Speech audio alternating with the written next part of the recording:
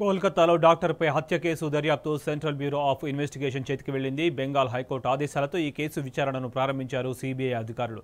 ఉదయాన్నే కోల్కతాలోని ఆర్జికార్ మెడికల్ కాలేజీకి చేరుకున్నారు. ఇప్పటి వరకు కేసు దర్యాప్తు చేసిన కలకత్తా పోలీసుల నుంచి కేసుకు సంబంధించిన సమాచారాన్ని ఫైల్స్ను స్వాధీనం చేసుకున్నారు.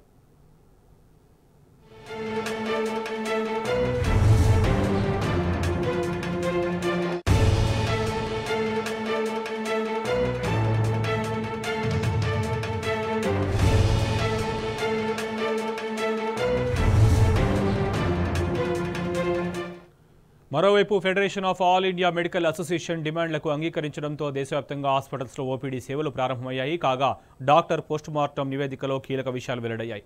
నిందితుడు బాధితురాలిపై క్రూరమైన దాడికి పాల్పడ్డాడని ఆమె శరీరంపై పలు చోట్ల గాయాలైనట్టు తేలింది.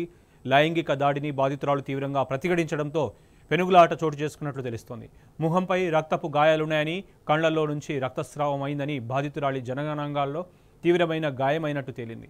గొంతు నులిమి ఊపిరాడకుండా చేయడంతో బాధితురాలు మరణించినట్లు పోస్టుమార్టం నివేదిక వెల్లడించింది.